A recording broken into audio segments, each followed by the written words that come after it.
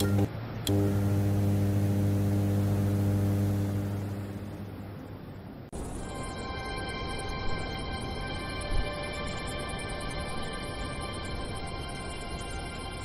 away from the noise and the rush of the big cities, there is a small town where time passes by quite slowly.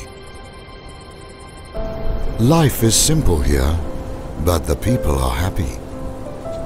A few hours ago, work time was over, and everyone is back home in comfort. One of them, however, isn't included. He is one of the few people who is accustomed to working at this late hour. Day by day, he pursues the same work, the same routine. He has been doing this for almost 40 years, and he has seen many people come and go. But he remains.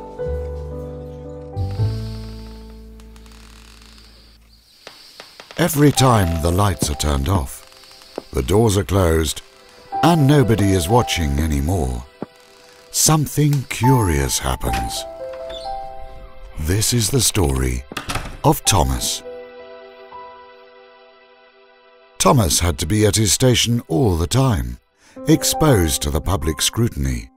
Nevertheless, the people didn't pay any attention to him, except on that one particular day.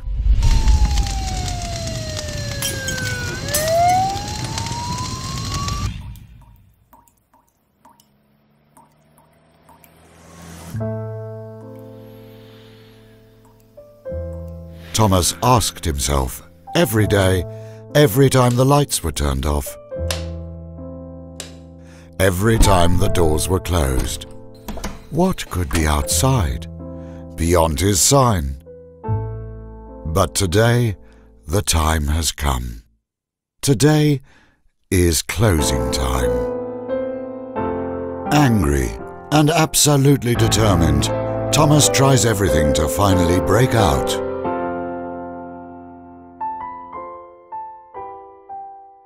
Everything. There has to be a way out. Into freedom.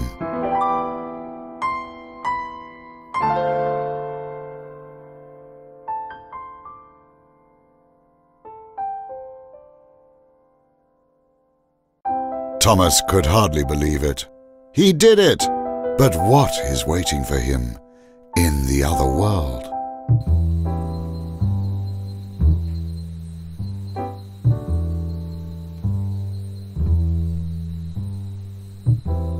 Luckily, he is still alive. He notices fast that this world isn't only looking completely different, it also has its own rules.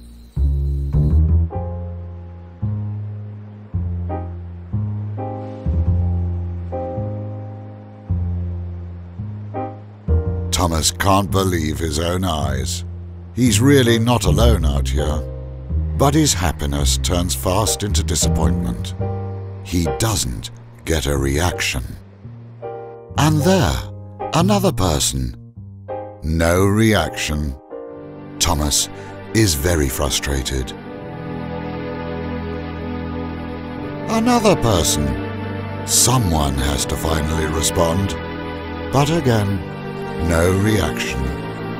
Thomas's rage will turn into panic because he's not only alone, but also lost.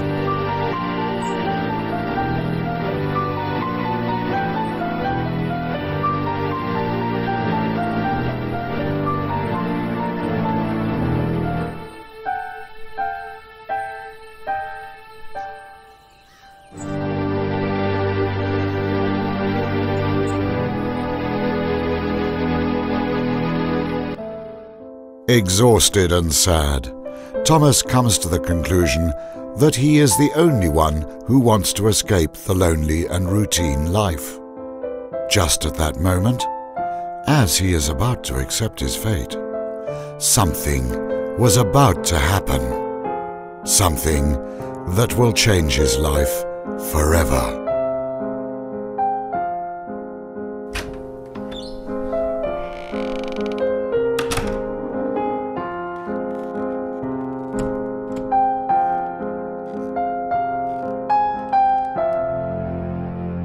Thomas faces the facts. He was made redundant.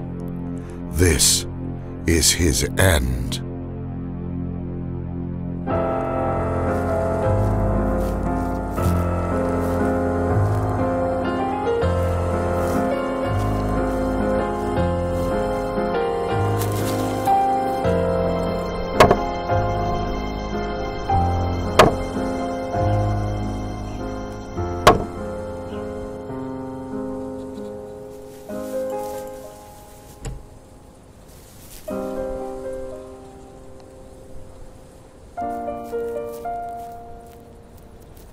Shocked and not able to move, he recognizes he is still here and he's not alone.